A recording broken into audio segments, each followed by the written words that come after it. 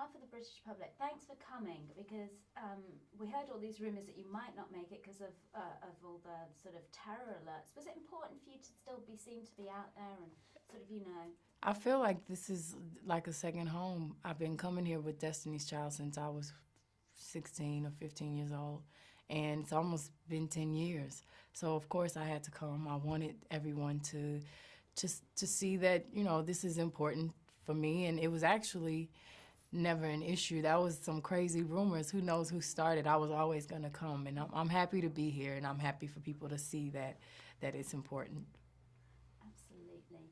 Now, Little Bird tells me that you kind of uh, snuck into the studio and got cracking on this album when you were supposed to be on vacation. What's wrong with you, girlfriend? Something is definitely wrong.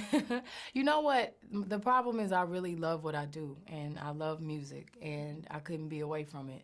I was doing a film, Dreamgirls, for six months, and I did not allow myself studio time. And I said, I'm not to be uh, Beyonce the celebrity for this time because I don't want to get confused with this character because she's she's a singer and she's very very different from me but I wanted to make sure I stay focused you know with this movie and I gave it fair opportunity to to learn the craft of acting and um, I had so many songs and so many concepts bottled up inside being away from performing and singing for six months that while I was on um, on my vacation, I told everyone, please let me be. Don't ask me to do anything. Don't don't call me. Let me go away and relax and get my mind back and kind of come back to my body because I've been in Deena's body, which is the character, for so long. And while I was there, I couldn't relax. So I said, "Well, I'm in. I'm I'm coming back to New York. I'm gonna be down the street from Sony Studios. I might as well just sneak over there and um, just play. So I called the producers that I was to work with the next year, and um, we set up a little studio time, and we were all in the zone.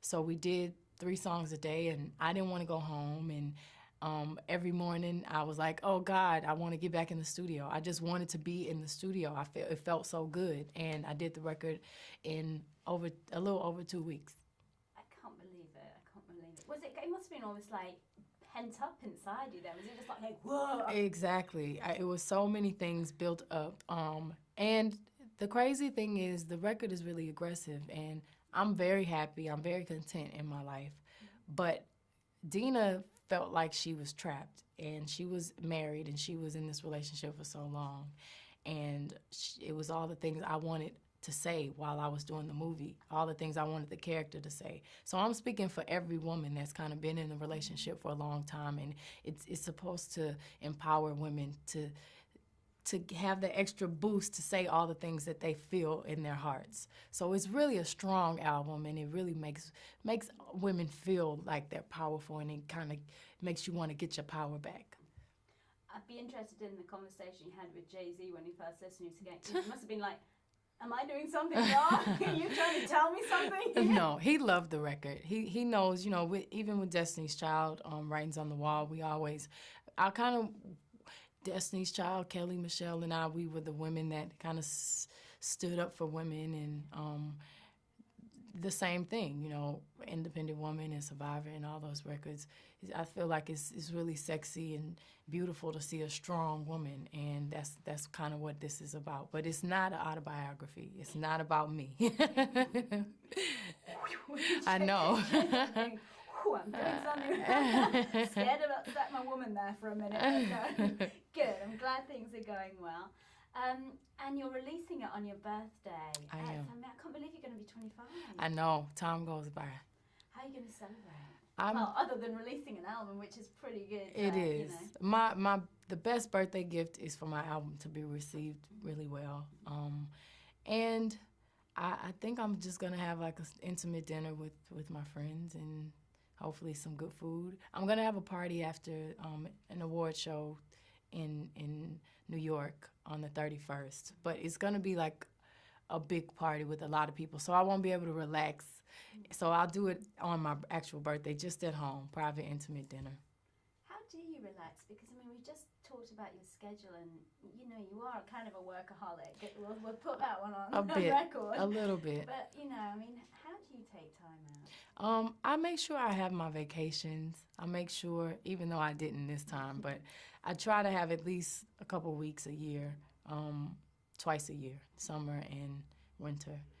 And I, I, I'm taking October off the whole month, and I make sure every couple weeks I, I see my nephew, I see my friends, I have certain weekends off, and I'm just really in control of my schedule which um, it took me a while to learn to say no, which is something that a lot of people have a hard time saying, because I, I like to take care of everyone and I like everyone to be happy. So it's it's difficult, but I, I've learned that I have to be a little bit selfish and take care of myself because I have time. I want to be here at least another, you know, for singing at least another 15 years, you know. You look amazing in the the video. Thank I you. love all the, the changes in the outfits Thank and you. everything. And you you have your own dance style that you know everybody kind of emulates now. I mean, is dancing something that's really important to you? And is that a way you keep fit? And you know, you're really looking good. Thank you. Uh, I love to dance. I love to dance on stage and in videos. Um, I think people will be surprised to see me dance in, in real life. I'm really a lot more reserved and kind of shy. Um, I kind of do the two step that I saw my parents do.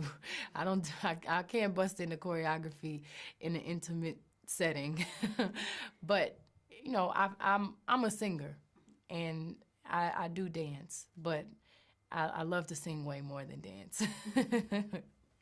And looking at all the different styles that you've got in the video, which, which style would you? I mean, are you a fashion? Do you follow fashion? You've got your own line, and then how would you describe your style? um, I think my style is eclectic. I like so many different things. Um, it depends on, on what the treatment is or where I'm going. I, I'm I love you know everything from tailor suits to just crisp white shirts to jeans to beautiful gowns to really you know sexy shorts and all different types of things. I, I just love I love fashion and I love being able to do photo shoots and videos and play dress up and you know go home in my jeans and you know do different do different styles. I, I love House of Deréon because um, for one it's a collaboration with my mother and it celebrates three generations. It's my grandmother, my mother, and myself. And my mother's my stylist. She pulls all the clothes with Ty Hunter, my other stylist. And it's great working with her. For one, she's my best friend and I admire her. And if, I could be like anyone, it'd be her because she's just a, such a strong, smart, beautiful woman. And it, it's great to have an excuse to see her every every couple weeks. I know that I can just say, "Mama, you got to come here. You have to come to, to London because we have to talk about sketches when I'm just lonely and I want to see her." so that's good. You're very family orientated, and um, um, last time we caught up with Jay, he said, you know, yeah, I'm looking forward to settling down, having some kids. Where does that sit on your agenda? um, I'm young. I'm I'm 24. I'll be 25 when this album comes out. Um, but I, I have time, and who knows? I, that happens whenever it happens. It happens. It could happen in a year. It could happen in five years. But I'm I'm in no rush, and I do think family is really really important. I grew up with both of my parents, and with my sister and my cousin, and with Kelly and all the girls, and it was always a lot of love in my house. So I want the same thing. And how do you um, um, find time to keep on top of what else is going on in the music world, and what what's on your kind of iPod or, or your MP3? And, you know. Um, believe it or not, I don't have an iPod. I've never even really had. I've had many, but I've never used them. Um, I do like Gnarls Barkley, and um, that's probably the most recent person I've been listening to. And um, film is that on the back burner for the while? If you got kind of music head back on and you know kind of My music head is back on. Um, thank God for the album. I was able to kind of get myself back. um, but you know, the the movie comes out in January here, so I'll be back promoting the movie pretty soon, and um, it's it's really interesting how the movies inspire the music and the music inspires the movie. When whenever I do an album and I do all this all the touring and then I'm like, okay, after a year of it, I want to do something else. And I love the stability of the movies and I just love doing something that I'm still learning. I'm new at. It's it's almost like starting over, which is really exciting. And then when I do that, the movie, I'm like, okay, I got to get back in the studio. I want to go perform every night. So it keeps my life interesting, and that's that's my goal to keep growing and keep keep learning and becoming more of an artist. And I'm I'm happy I've been given the opportunities to do both. Last time we caught up, you said your goals was to have